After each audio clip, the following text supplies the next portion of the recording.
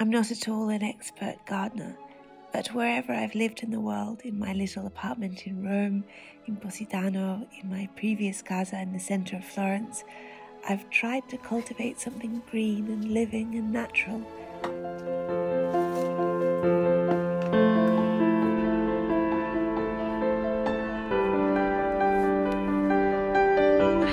Welcome to the family. Oh my gosh, I love it. I love it. Look at my little plant. It's growing like Jack and the Beanstalk. Good morning, everybody. Good morning. Except now, I have dirty feet, so I like made these little move boots so I can walk inside.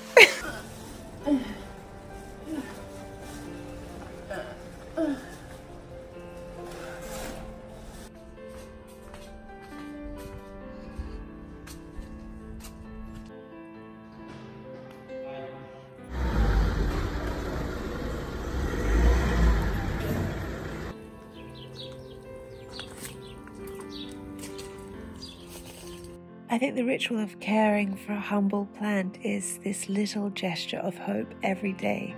I like that it reminds me to be patient. It reminds me that nature cannot be rushed or expedited as most other things in our life. That it may bear fruit, but it may not. That the end goal really isn't the most important thing, although it would be lovely to eat all homegrown produce the most important thing, I think, is the ritual of caring for something that is frail and holds no guarantees. It also has so many parallels with love. Sometimes we can love or show kindness to someone, and it is not promised that this will be reciprocated. But studies have shown that the act or ritual of showing this love or kindness, of thinking of how to nurture another or improve their welfare, is the reward in itself even when not returned. Neuroscientists have found that helping others releases dopamine, oxytocin, endorphins in the brain that mimic a morphine high. I've moved to the countryside just outside Florence, still in the region of Tuscany, and I'm in a relationship with a Florentine. Will it last forever? I don't know.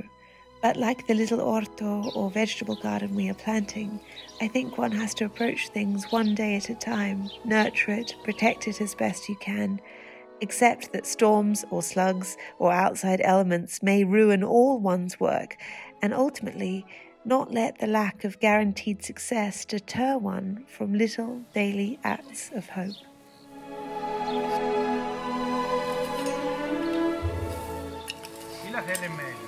Eh sì, ma questi sono veramente fragili.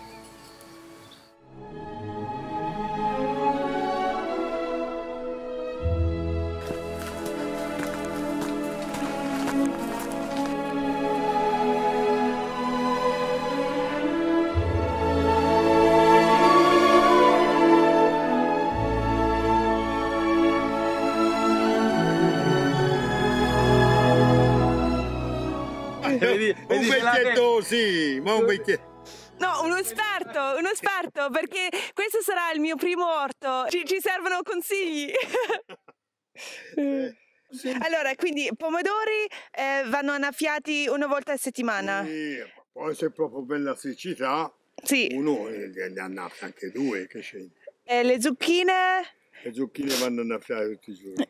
Ok. Un E giorno sì, un giorno no, ma insomma. la lattuga tutti i giorni. Tu tutti i giorni. Ok. Altri consigli? C'è uno.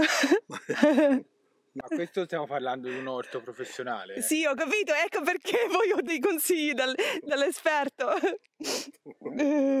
Allora, La, la cosa più, più facile da coltivare qual, qual è? La, la verdura più, più, più facile? Non, non esiste. Sono tutti difficili. allora, allora gli dirò che, sì. che c'è un proverbio che dice l'orto vuole l'uomo morto perché vuole che, che sia sempre lì. I've been reading a lot about neuroscience and consciousness and the vast secret intelligence of plants. Deep under the soil, there is magic and kindness happening that we don't even glimpse unless we look closely. The way they silently protect each other, sharing their nutrients through the soil, making way for younger generations who arrive and try to make a home in the same earth. My sister, in her research days as a naturopath and nutritionist, even took part in a study that bizarrely showed plants thriving more when they were exposed to classical music. And so, of course, I couldn't help myself. At sunset, when I water these plants, I play opera to the zucchine, pomodori, friggitelli.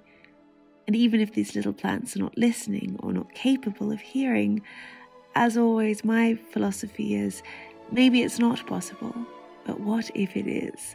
One has to try and enjoy the ritual of offering beauty and holding hope.